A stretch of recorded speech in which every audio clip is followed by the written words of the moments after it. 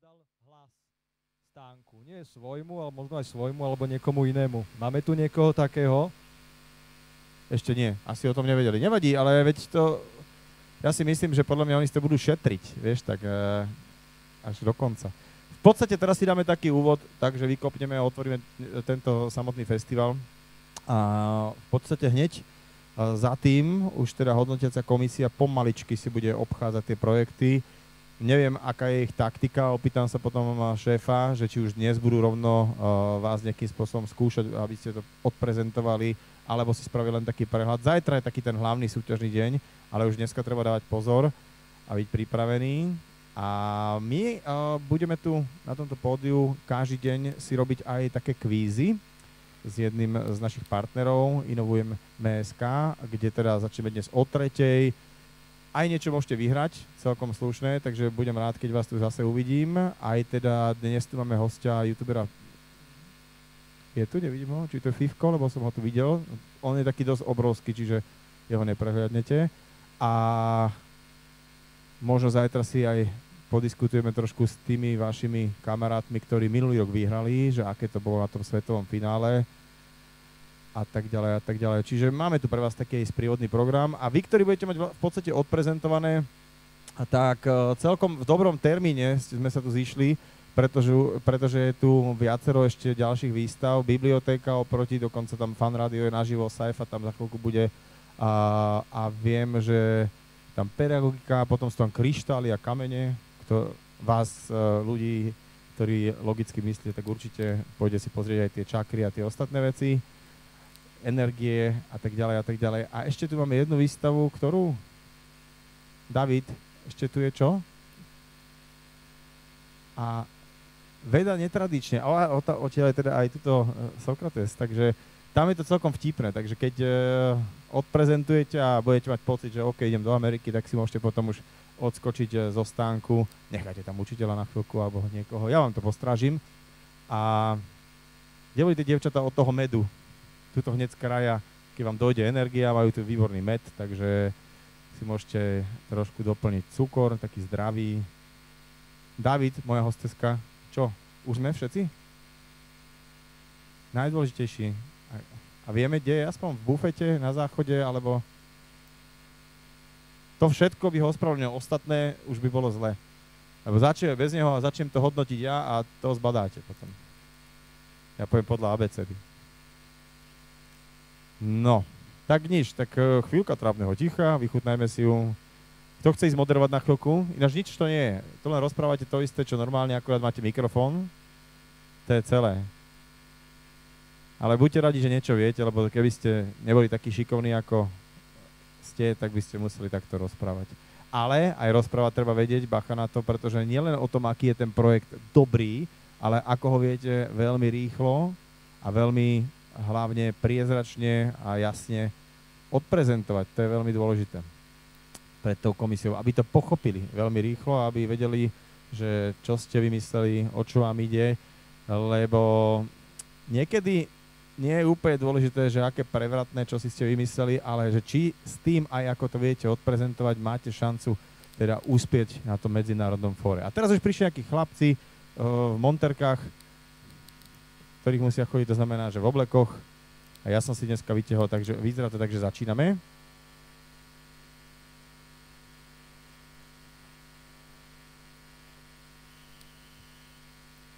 Takže ľudia prichádzajú, ja sa ľahko pozriem na chlapcov a dievča zo Sokrates klubu, takže oni môžu začať.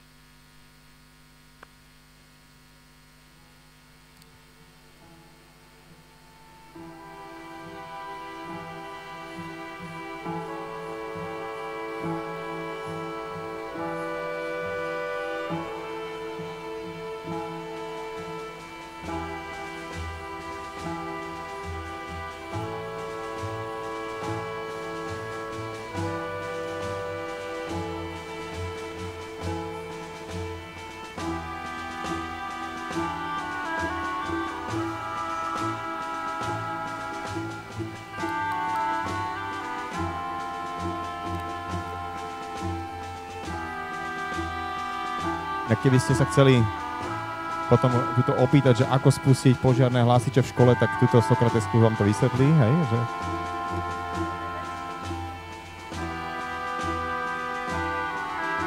Takúto penu som viete, viete kde videl? Teda tak, takýto dým. Michal David to mal na koncerte, Peter Nať. Ale to vy ste vtedy ešte nežili. Ja vy to nevidíte? Tu je taká pena. Ona je jahodová, malinová a ľudí v prvom hľadu viem, že to trošku... Uh, no, rozložuje to pančuchy, ale kvalitnejšie to pánky by mali vydržať. Je to, nie je to žiadne jedovaté nič? Je to v poriadku? Čo to je to? Čo to je? predtým si povedal niečo? Nie? Hibertium, nie? Či toto som zle počul? Dobre, tuhý oxid netoxický. Zatlieskajte Sokrates klubu a keď chcete oživiť váš stánok, môžete ich uh, požiadať, aby vám počas prezentácie tam spravili nejaký dym a môžem vám nejaké body prischnú aj za takúto peknú prezentáciu. Tak, priatelia, ešte raz, ja budem mať používať tento môj ťahák, dokonca mám dva.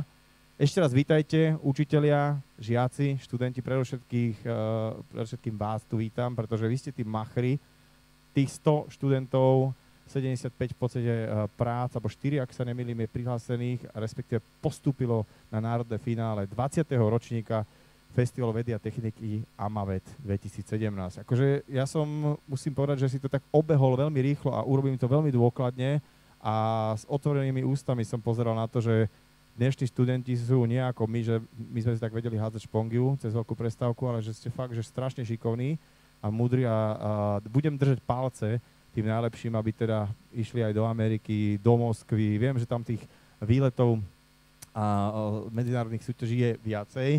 Ja som teraz aj taký druhý ťahák, keďže ste mi povedali, kým tu títo páni neboli, že ťaháky sa stále používajú, tak používam aj ja. A zopakujeme to 20. ročník Festivalu vedy a techniky a v rámci 14. ročníka Týždňa vedy a techniky na Slovensku.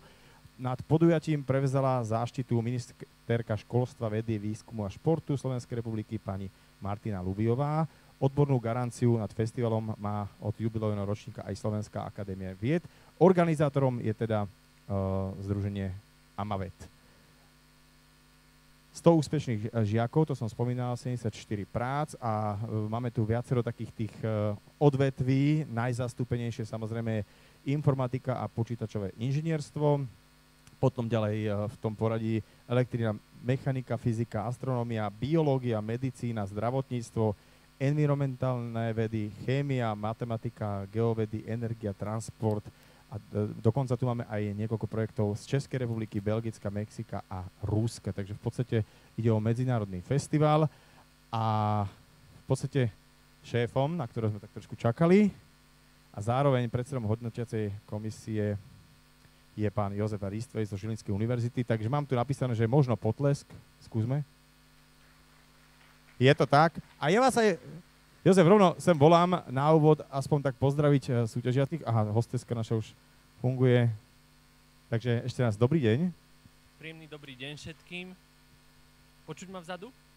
Nepočuť. On to držíte ako reper, viete? Keď to budete ja takto, t- ja, vy repujete, tak to môžete takto rozprávať všetkým, takže čaute všetci. Je tu niekto, sú tu moji ľudia? Takže ešte raz príjemný dobrý deň všetkým, teraz to už funguje, takže ja som naozaj veľmi rád, že môžem eh, na začiatok vás všetkých privítať a, a uviezť 20. ročník Festivalu vedy a techniky. Asociácia pre mládež, vedu a techniku AMAVED je tu od roku 1990, ale v tom roku 98 sme začali hovoriť o tom, že potrebujeme súťaž, ktorá bude na Slovensku jedinečná a ktorá zároveň bude vysielať mladých ľudí do celého sveta. Dnes sa nám to darí, pán moderátor to veľmi pekne vymenoval. Okrem toho máme aj partnerské súťaže v Európe, kde sa snažíme si vymieňať výťazov, takže počuli ste, že máme tu aj o, našich partnerov z viacerých krajín a to som veľmi rád, že sa nám darí vysielať vás o, do jednotlivých krajín a na jednotlivé súťaže.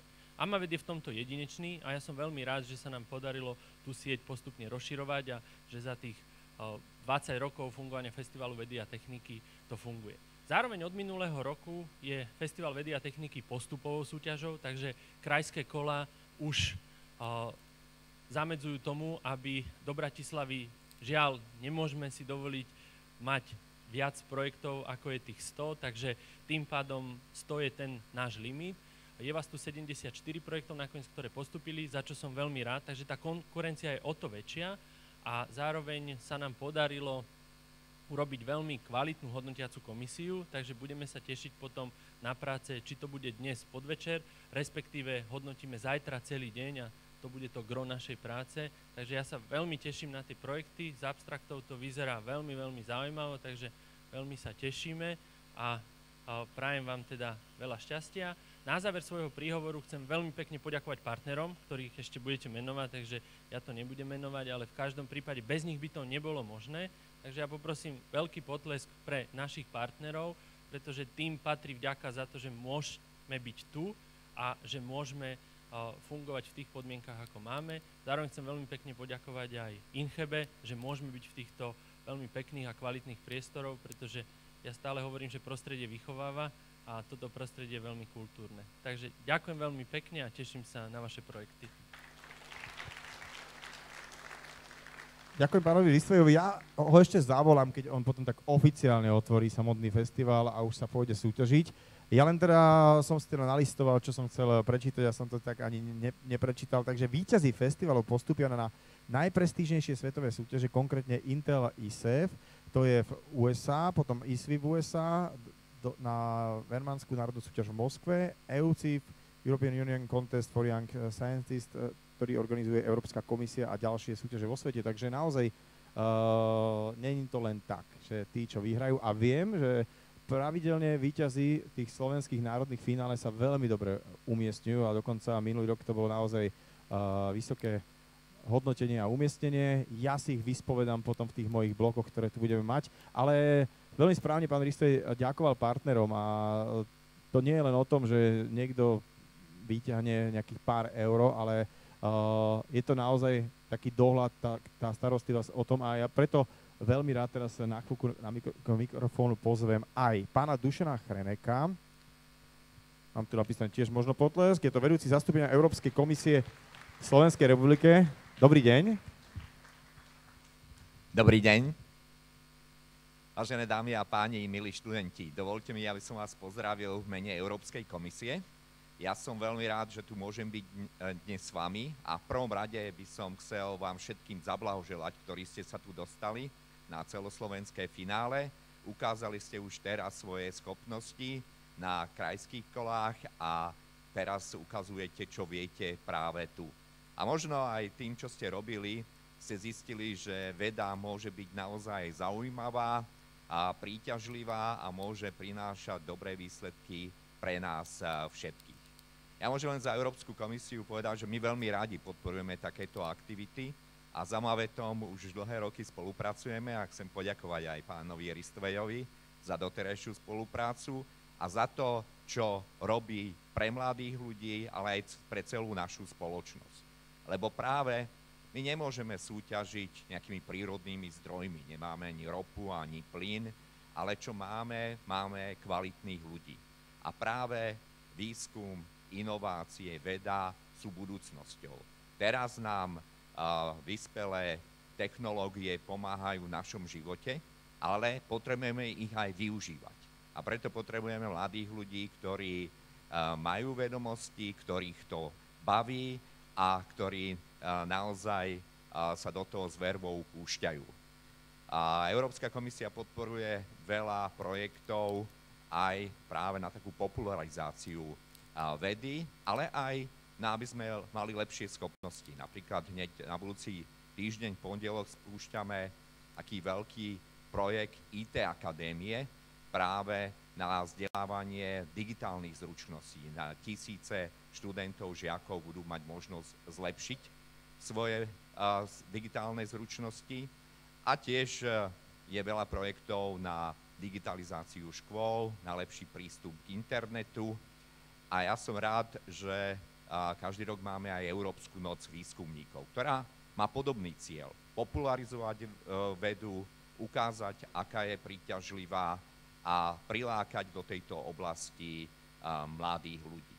Takže nakoniec by som vám chcel ešte zaželať veľa úspechov a, a nech vyhrajú tí najlepší a ja verím, že mnohí z vás budú úspešní aj na tej európskej úrovni alebo aj na svetovej úrovni.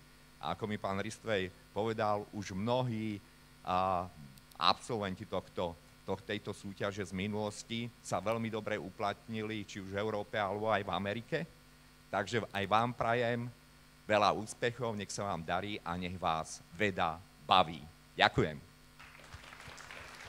Ďakujem veľmi pekne, pán Dušan Chrenek. A za teda partnerov Matador Holding eh, si sem dovolím pozvať pána Miroslava Rosinu. Dobrý deň. Ďakujem pekne. Dobrý deň. Dobrý deň, eh, vážené dámy, vážení páni, ja som rád, že môžem sa prihovoriť k takémuto mladému publiku, predovšetkým eh, k ľuďom, ktorí majú záujem v tom, v čom aj my v podstate sa vyznačujeme skupina, to je aplikácia vedy výskumu e, do konkrétnych projektov v praxi. Ako e, niektorí z vás možno poznáte Matador, e, je to veľmi stará značka, stará firma. Vznikla v roku 1905, tu v Bratislave bola založená.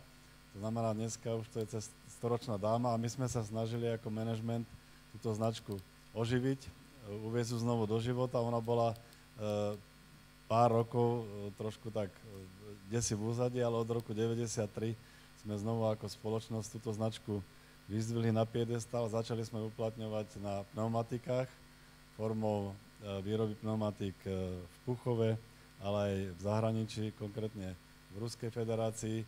Následne sme potom e, pri nástupe automobiliek na slovenský trh, to bolo v tých 2000 rokoch, kedy prišiel Peugeotky a tak ďalej, uznali, že bude veľmi dobré túto značku zaniesť aj do sféry automobilových dodávateľov. Tak sme jednoducho zmenili smerovanie. E, vedeli sme, že ten potenciál pre výrobu automobilov tu bude a dneska sa to v podstate osvedčilo a my ako jeden z mála domácich subjektov, poviem, určite je tu veľa zahraničných subjektov, ktorí v tejto oblasti fungujú, ale my ako jeden z mála domácich sme sa dokázali etablovať ako e, dobrý dodávateľ, či už do Volkswagenu v Bratislave, alebo je to eh, v podstate Škodovka v Českej republike. Musím povedať, že sme odišli od pneumatík a prešli sme k dodávkam dielov pre automobily. Eh, to bol v podstate taká druhá etapa v tom 105-110 ročnom vývoji firmy a dneska už sa zaoberáme tými najnovšími technológiami z oblasti, z oblasti automatizácie výroby, robotizácie, umelej E, inteligencie. Takže vidíte, že aj tá stará dáma sa dá v podstate stále nejak držať v kondícii a to je predovšetkým vďaka tomu, že sme boli schopní generovať potenciál z tých mladých ľudí, ktorí jednak boli v tých regiónoch, v ktorých pôsobíme, ale v dnešnej dobe sme rozšírili spoluprácu a máme teda zmluvné zväzky aj s Univerzitou v Košiciach, v Bratislave, v Ostrave, v Brne aj v Prahe. Takže ten trend e, angažovania nových myšlienok, mladých ľudí v podstate.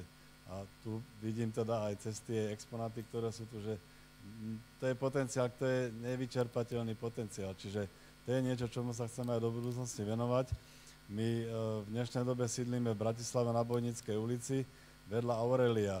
Aurelia je v podstate zariadenia e, CVTI, ktoré funguje v podstate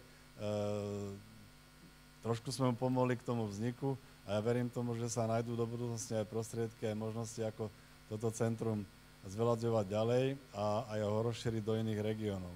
Takže e, keď by som na záver mohol povedať, podujatie ako toto Matador podporoval v podstate vždy v minulosti. E, my sme začali organizovanie v tých 90. rokov Dní vedy a techniky vlastných firmy, kde sme si pozývali e, našich dodávateľov, výskumného pracoviska zvonku, Vtedy ako pneumatikári sme spolupracovali v oblasti chémii s veľa dodávateľmi a dneska takisto prenášame e, túto spoluprácu alebo ten náš cieľ nejaký spolupracovať s akademickou obcov čím ďalej tým viac aj na hlavne slovenské, české univerzity.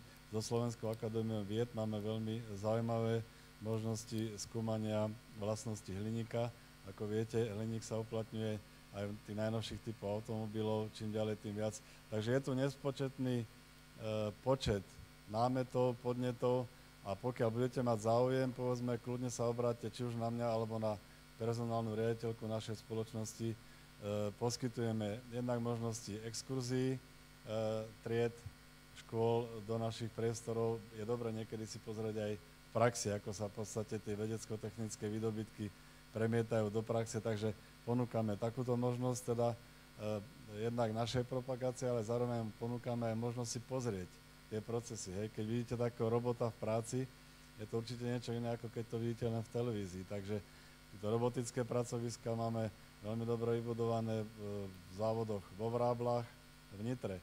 Čiže ponúkame jednak túto e, možnosť, ponúkame potom možnosť vypracovania rôznych študentských prác na bázi konkrétnych zadaní, končiacich až po diplomové práce a tak ďalej. Takže hovorím, sme otvorená firma pre, pre vás, pre ľudí, ktorí sa zaoberáte vedou technikou a pokiaľ budete mať záujem, e, do tých vašich ďalších období sme ochotní vám ponúknuť spoluprácu.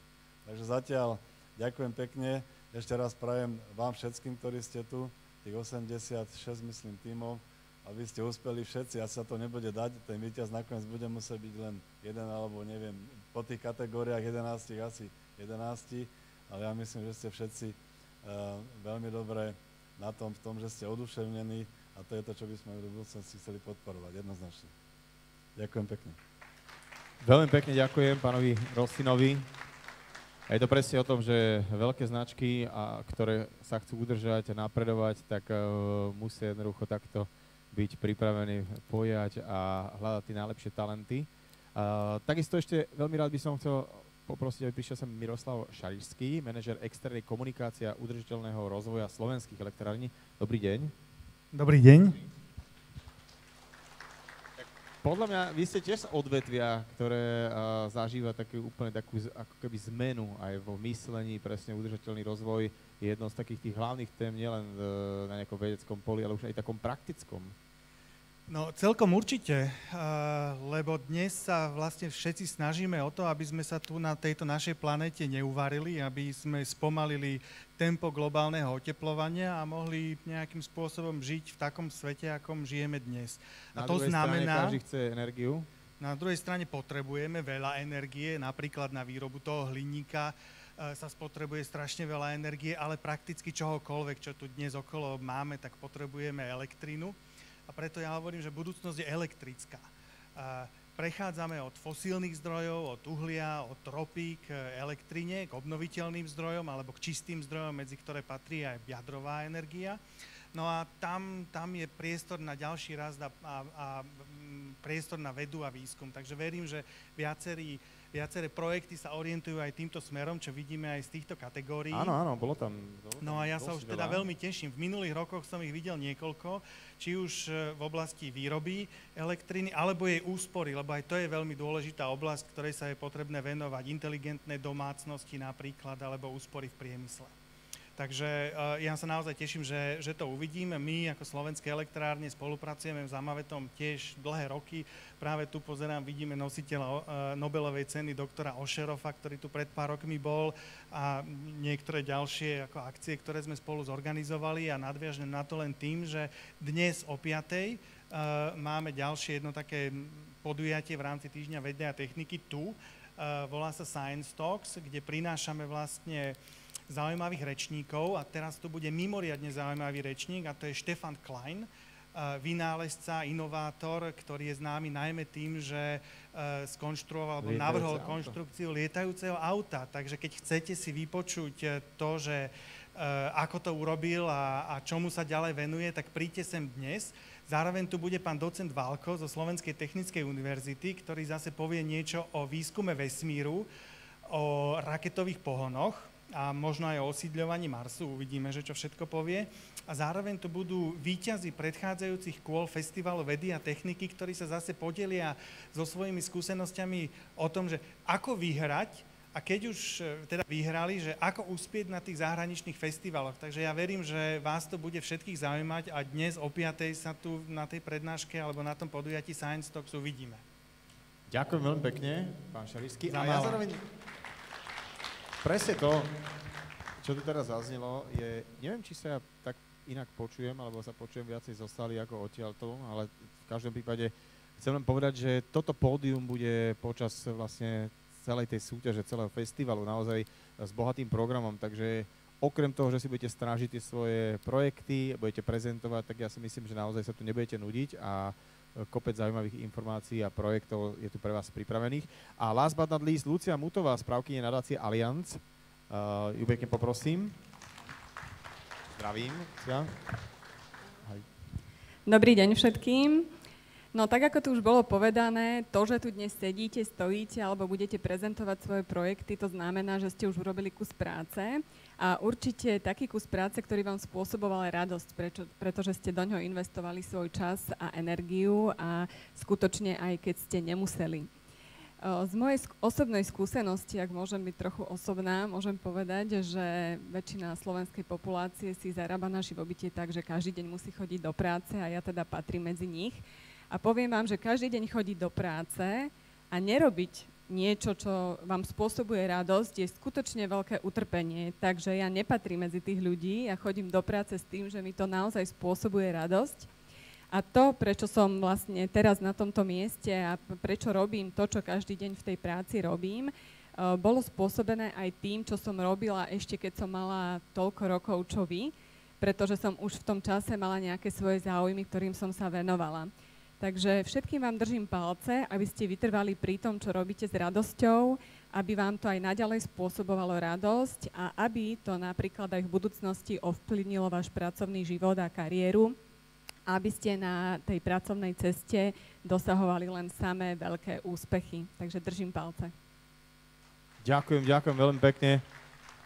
Naozaj krásne povedané a presne to je tá pointa toho, že vy, ktorí ste tu, vy už ste, uh, aj keď možno nebudete všetci tí, čo postupíte na svetové finále, už tí v podstate takí tí šikovnejší a vyvolení, ktorí naozaj to, čo ich baví, tak sa tým môžete naozaj reálne živiť, lebo ako ste počuli, tak kopec veľkých spoločností uh, práve na vás čaká. Ja už teda iba taký oficiálny výkop a zahájenie, takže pán Risto, ešte raz uh, vás poprosím, aby ste oficiálne otvorili dnešný festival. Ideme sa oblievať, či? Ja, aha, okej. Okay tak hoďte tam zase nejaký ten, nejakú kyselinu, nech toto... Môžeme na to? Výkop môžeme dať. Ja chcem naozaj ešte raz veľmi pekne poďakovať všetkým partnerom. Chcem poďakovať za tie slova, ktoré tu odnili aj smerom k Amavetu. Ja si myslím, že 20 rokov je naozaj niečo, čím sa už môžeme pochváliť a zároveň som veľmi rád, že naši výťazí sa uplatňujú a toto je veľmi dôležité, pretože to je tá vaša budúcnosť a to je v konečnom dôsledku naša budúcnosť. Takže prajem všetkým eh, veľmi príjemné diskusie o vede a vo vede. A ako som napísal v eh, sumári projektov, síce už Nobelové ceny sú rozdané, poďme na tie Amavetové. Takže prajem vám všetko dobré a zúčastnite sa Science Talk a zajtra sa tešíme na vaše projekty. Takže príjemný festival vedy a techniky. Ďakujem. Ja ďakujem pánovi Ristejovi.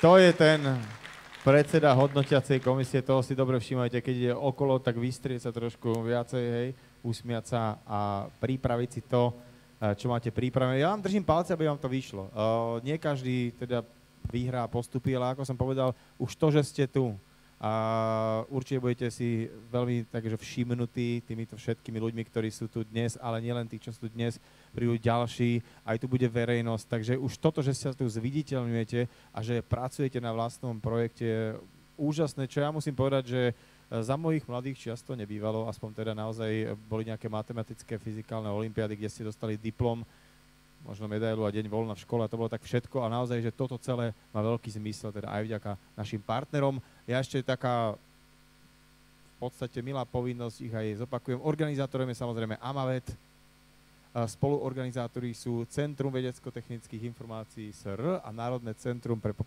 popularizáciu vedy a techniky spoločnosti. Odborní garanti sú Slovenská akadémia vied, Žilinská univerzita a Univerzita Komenského. Hlavný partneri je teda Incheba a ešte raz veľká vďaka, lebo uh, za tých podmienok, akých sa toto celé koná, to asi ešte nikto nedostal doteraz.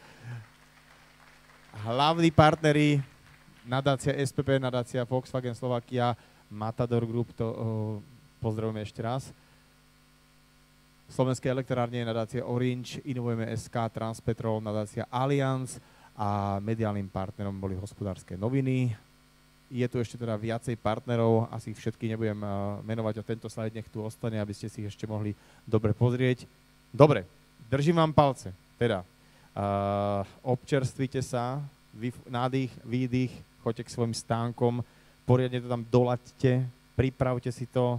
Už som počul, že aj vlastne dnes podvečer budú prvé hodnotenia a prvé také tie obchôdzky, aby ste už dnes boli pripravení odprezentovať sa v tom najlepšom svetle. Zajtra je možno taký ten hlavný súťažný deň, takže držím palce, ale popri tom všetkom naozaj je tu kopec vecí, aj čo vidieť v rámci tých ostatných výstav, ktoré sú tu, takže ak sa chcete trošku uvoľniť a zrelaxovať, ale zároveň tu na tomto pódiu je kopec uh, dobrých prednášok, školení, uh, aj celkom takej zábavy. O 5. ste počuli, bude tu Pišta Klein, uh, podľa mňa jedna z top uh, slovenských osobností, ktorá sa preslavila vo svete, teda nielen lietajúcim autom, ale aj mnohými ďalšími uh, inováciami a patentami.